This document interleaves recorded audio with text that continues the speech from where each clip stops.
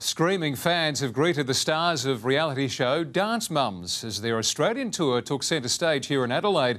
They had a chance to meet their idols and audition for one of the best but toughest dance teachers.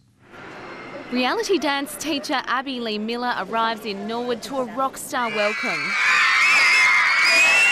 An amazing reaction. It's always positive, it's always fun. The kids scream and yell, they get excited.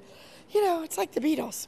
The star of the cult show Dance Moms also bringing her pupils, including Maddie Ziegler, who starred in a music video for world famous Adelaide singer Sia.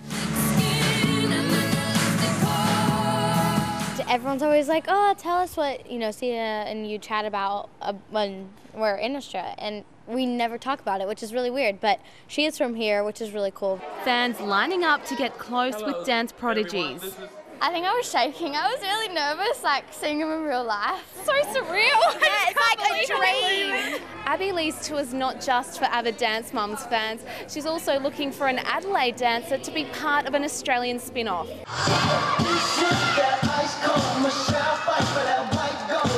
Known for her tough critique, Abby had this advice. Straighten your legs, point your feet, uh, stand up straight and tall, shoulders back. We're just kind of here, and whatever Abby says goes. So she'll choose yeah. the dancer, and yeah, we're just so here to help. Abby will be in Adelaide until Thursday, with the tour ending in Melbourne next week. Lauren Barker, 9 News.